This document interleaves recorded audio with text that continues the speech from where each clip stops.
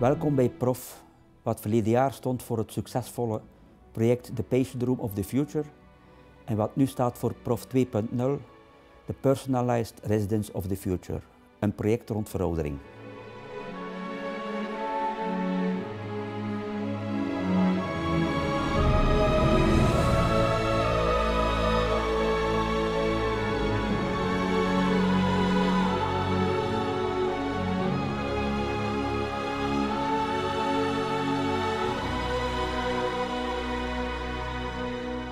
Veroudering start in feite bij dag 1 na onze geboorte.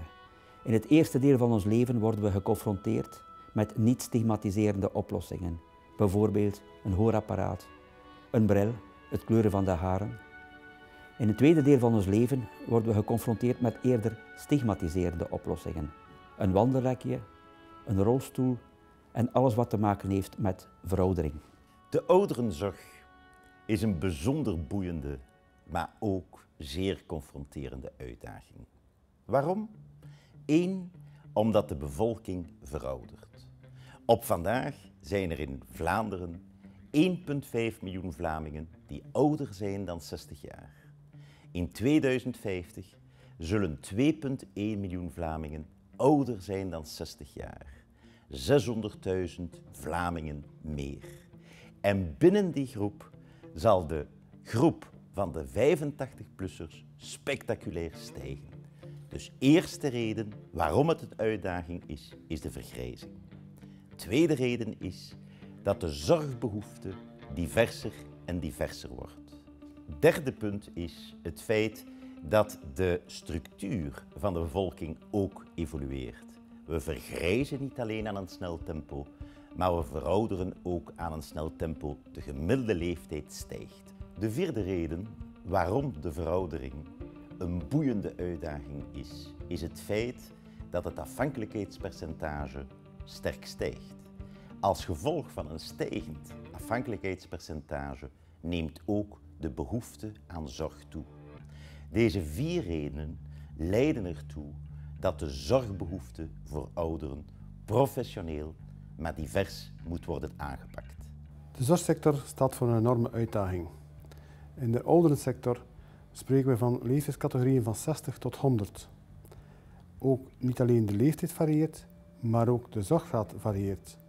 En als we hebben dat die ouderen zo lang mogelijk thuis blijven, zullen we antwoorden moeten vinden, niet alleen binnen de thuissituatie, maar ook naar de zorgverlening. En dat op elkaar afstemming, dat is een enorme uitdaging. Het moet toch mogelijk zijn, met kleine aanpassingen, dat die thuissituatie binnen zijn eigenheid veel langer kan zelfs met zijn verhoogde zorgvraag. Wat is belangrijk in de professionele en diverse aanpak van de zorg? Eén, dat hij multigenerationeel is.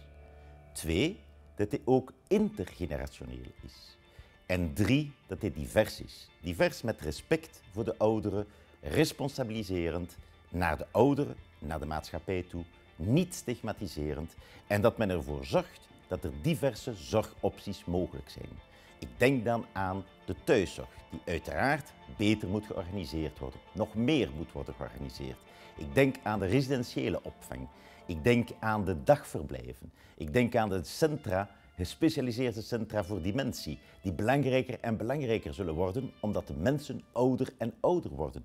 Ik denk aan de woonnetwerken. Kortom, zorg op maat, maar zorg binnen algemeen kader dat duurzaam is, dat betaalbaar is en dat respect heeft voor de ouderen.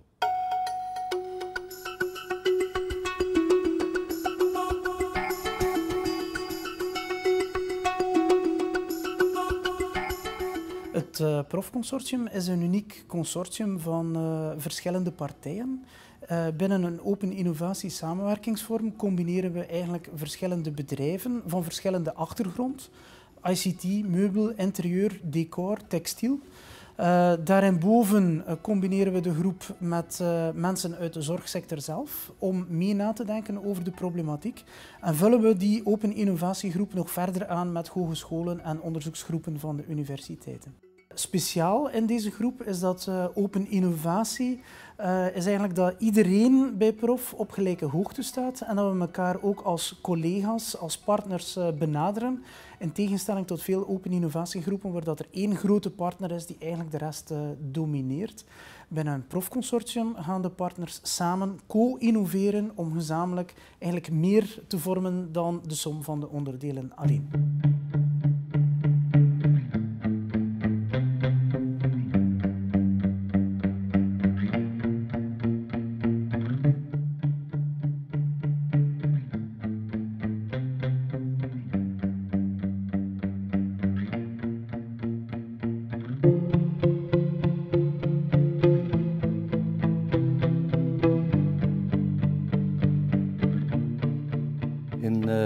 Kader van de gestelde problematiek van de vergrijzing van het levensbestendig wonen hebben wij als architecten een concept uitgewerkt waarbij wij die ideale woonomgeving trachten te benaderen.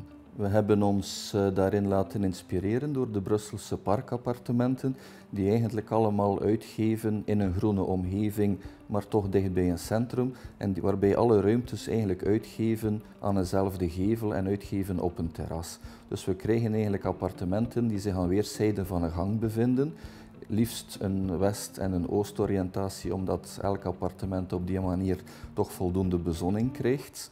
En waarbij we dan eigenlijk door die centrale hang de verschillende appartementen zeer gemakkelijk kunnen bereiken, zonder telkens trap en lift te moeten nemen om van het een naar het andere appartement te gaan. Wat uiteraard voordelen heeft voor thuisverpleging, voor uh, alle mogelijke diensten die worden aangeboden aan de mensen die in dat gebouw gaan, uh, gaan wonen. Bij het concept dan zelf in het appartement hebben we hier gekozen om het vier module type uit te werken. Maar we denken er uiteraard aan om in een groter woongebouw om verschillende types van appartementen onder te brengen. Die kunnen gaan van twee modules, drie modules, vier modules in functie van de vraag of de eis van, van de bewoner. De zorgflat bestaat uit uh, in totaal vier modules.